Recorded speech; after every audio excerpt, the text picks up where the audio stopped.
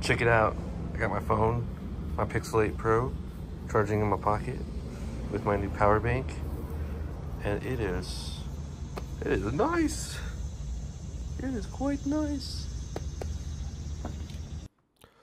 What's going on YouTube? This is What Would Josh Do, and this is by far an exciting video, and I want to share it with you guys. So, for the last several months, actually longer than several months, I've gotten many people to mention Nitecore and the NB10000. I had never heard of Nitecore or the NB10000. So, shout out to you guys. And actually, it's been almost a whole year since somebody first mentioned it. Now, I've gotten way more mentions than what you're seeing here regarding that. Those aren't the only people that have mentioned this product right here. So, I got this thing today, and my very first thought was, oh my gosh, it feels so good in your hands. It is sleek. It has a nice, like, carbon fiber look to it. It's smooth as can be. It's got little rubber like things here so you can lay it down. It doesn't, to be honest, it doesn't work too well, but they're there. But uh, this was a unit that was sent to me for free. They reached out to me. It arrived in non retail packaging. So I got the unit itself and then a little cable. Because as you'll notice here, there's only USB C, which is very nice. Love to see it. But if you want to use USB A, you use the little adapter, and now you can have a USB A device plugged into it. But taking a closer look at it, would you look at it? Would you look at it? It says Nitecore. Again, got like some texture here. This has been in my pocket and I've realized that this thing is going to get absolutely tore up in my pocket because there's some stuff here you can read now that you won't be able to read later. So I can't make out if you can see that on my little viewfinder, but I'll take a picture regardless. There's nothing on this side. It's completely flat. But this side gives you specifications like uh, the inputs and outputs and stuff. And then you've got some more information here. The important thing is it can do up to 12 volts 1.5 amps for the input on both ports. It says it can do 9 volts at 2.22 amps to get your 20 watts. It also says it can do 12 volts at 1.87 amps to get 22.5 watts.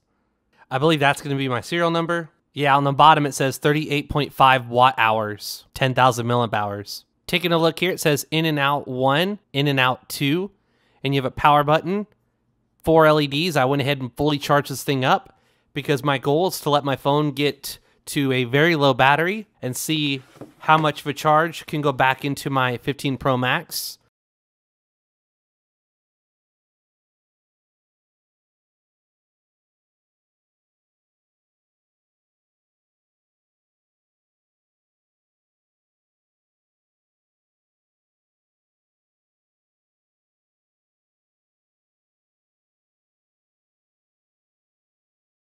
Alright, so now we are at 100% charge, and we put 21 watt hours back into it with 2,881. Alright, I'm going to bed, so I'm going to go ahead and stop this time lapse. And uh, my phone did get to 95%. The light is not flashing yet, and there's the data, so it's barely putting anything into this. It's going to take it a little while longer to get to 100% technically. And uh, 19 watt hours, 2,465 milliamp hours. All right, so I had to plug this in just to get power and show you what happened. So after it put my iPhone at 100%, I switched it over to my Android, which is at 36%, and now it's at 62%. So I gained you know, roughly 30% or so, and now it's at 28 watt hours and then 3,683. Now I need to fully charge this thing up and see how much power I can put back into it.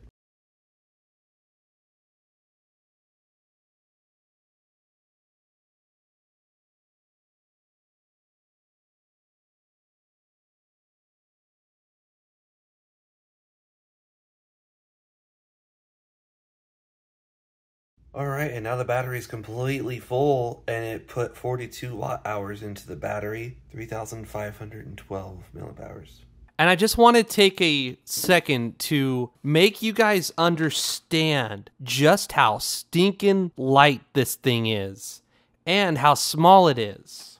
So when I think of thin, light power banks, this is Anker's 20 watt PD 10,000 milliamp hour PowerCore Slim 10K PD. This is their old 18 watt Slim with wireless charging. This is their new Zolo 10,000. So it's going to be thicker than this thing. This is Anker's 10,000 milliamp hour. So, you know, it's roughly as thick, but slim. So it's nice and light. And this isn't too bad. Because if you think about it being in your pocket, charging your phone, that's not bad at all. But here's the thing, right? 152 grams. You know, we'll we'll make this a fair comparison and take off that. This is going to add maybe like a fraction of a gram, but 204. So 50 grams more. If you weigh it with the cable, it's 214. The 10K PD Slim is 260. The new Zolo 30 watt 10K, 216. Guys, this is 150. Like this thing is so freaking light. And check it out. Compared to Anker's Slim, it, it doesn't even compare. It's thinner than this thing. It's not as wide and it's not as long. I mean, it's super impressive. Compare it to this thing. Like, dude, it is not as thick. Like, look at that. All that extra thickness there. And then it's not as wide. Or, I'm sorry, this is the thickness, this is the width. But yeah, it's not nearly as wide. It's not nearly as thick. It's definitely thinner, but not like a huge lot. And it's about as long as this thing. So I guess in comparison, this is my smallest power bank with Anker, but now this is my smallest power bank. And I'll tell you, this feels so good. It's got rubber where it needs it. Feels feels really good in your hands. But check this out, right? This is why this is so huge to me. Look at this. So you can plug this in and then plug this in, and it's barely anything in your pocket. This is thinner than the phone. All right, so here's my 15 Pro Max without a case. And look at this. I mean, it's not thinner than my phone, but I'll be damn, it's not much thicker. It is comparable, and it's not as wide, and it's not as long. It's just it's just a tiny bit thicker than my phone. But when you add a case to your phone, now it's actually thinner than my phone. Here's my Pixel 8 Pro. It's literally the same, y'all. This is so freaking nice. I can have this in my pocket and I can get an even shorter cable than this. This is just one that I had right next to me. And look, I've got this thing charging at 20 watts in my pocket. This is insane because before I was using this thing and that's just not, that's a whole lot in your pocket. You know?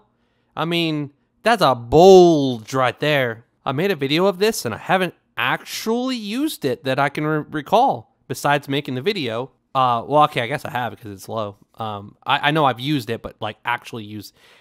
Anyways, this has got to be my only other option for a power bank that you know fits in your pocket and doesn't add too much thickness. But man, I could not be more excited to have this thing right here. That is just beautiful.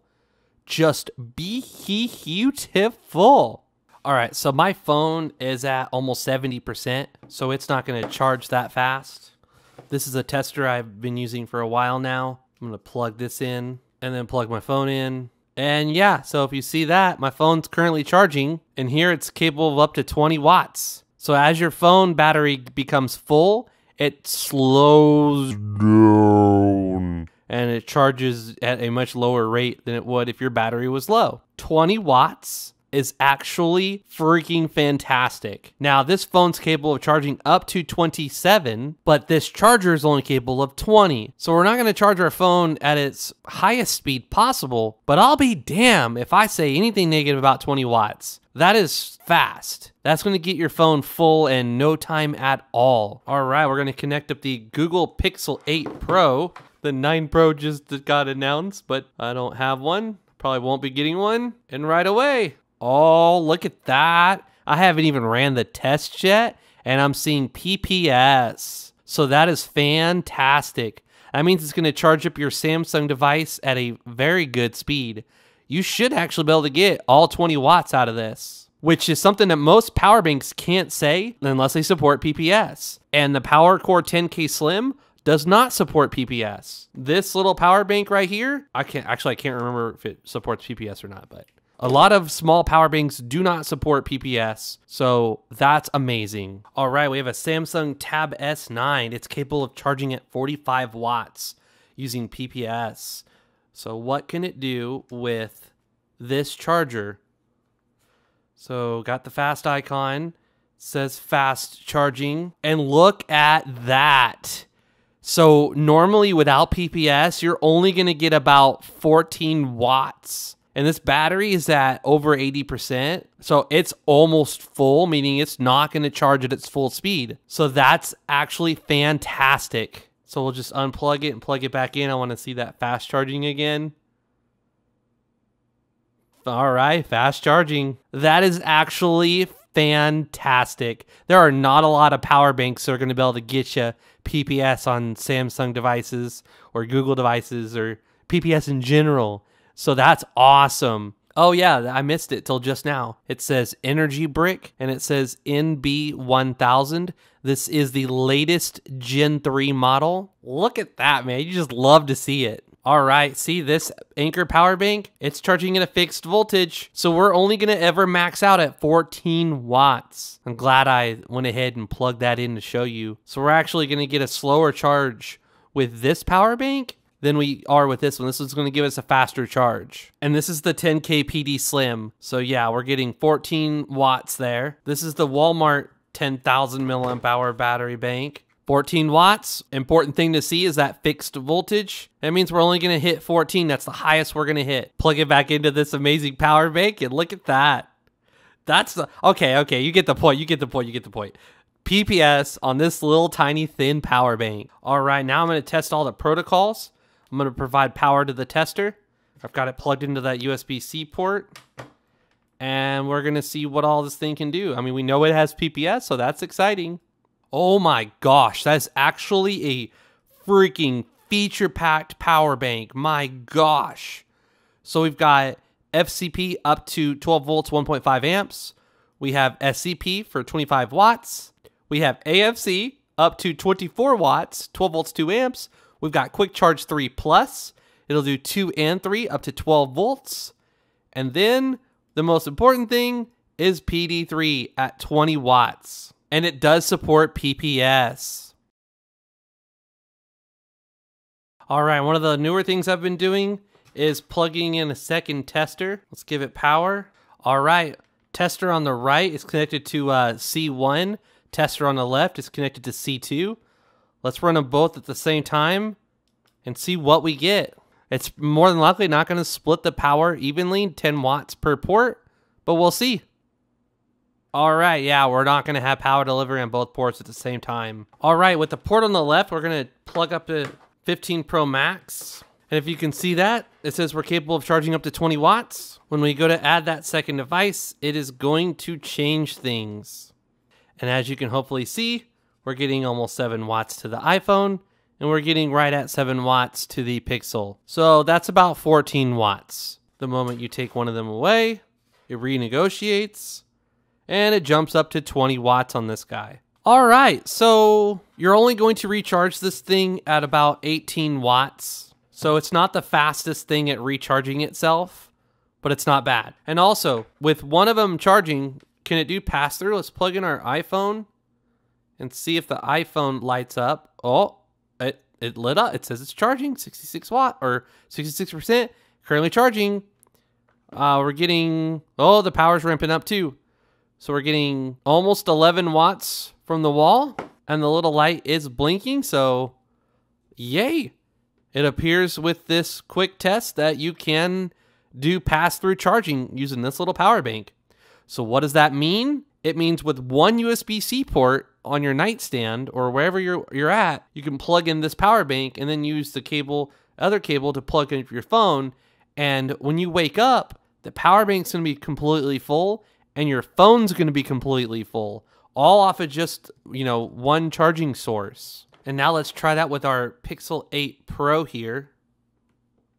Yep, it just flashed indicating that everything's charging. On the lock screen, it indicates charging rapidly. And all we did was just switch from the iPhone to the Android, and we're getting 9 watts. I could not be more thrilled to have this little tiny cable and this power bank and have this in my pocket charging if I forget to charge my phone or if my phone's getting low or something. Now I can actually have a battery and a phone in my pocket and it's not going to be uncomfortable. That's absolutely fantastic. Now, this battery is a little expensive, but it just screams quality. 20 watts of output to your phone, recharges itself at 18 watts. It's absolutely fantastic, and there's nothing else like it that I know of. I'll have a link to everything in the description below. If you're new to my channel, please subscribe. If you are not following me on Twitter and Instagram, please do so. This is What Would Josh Do, and I'm out.